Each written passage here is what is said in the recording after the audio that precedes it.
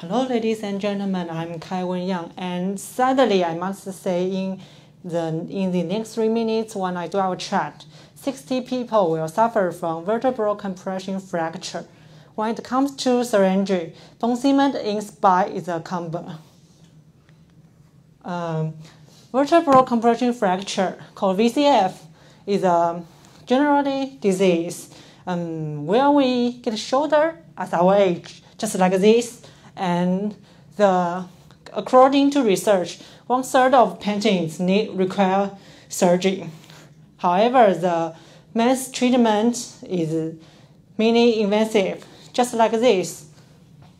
We send we send a balloon into the vertebra and uh, extending a space, then injecting cement into it.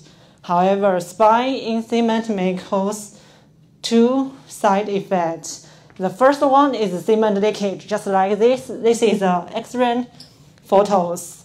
Maybe the cement may flow into our heart, our lung, or our nerves, or somewhere. And uh, there is even a risk of death. Another one is fracture. The another one is that hard cement may lead to another fracture, just like this. And this, this way is mean is, this seem to fracture again. So our project vertebral Prago VPG was designed for VCF surgery without cement.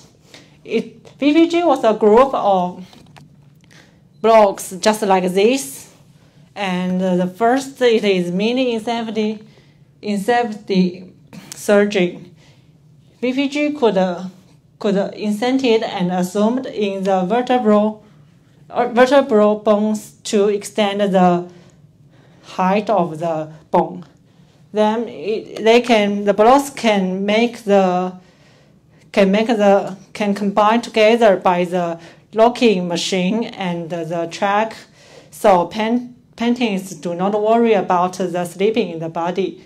And finally, the hollow structure of the design could make the bone regeneration. And we believe that this medical device could make paintings feel at ease. Thank you.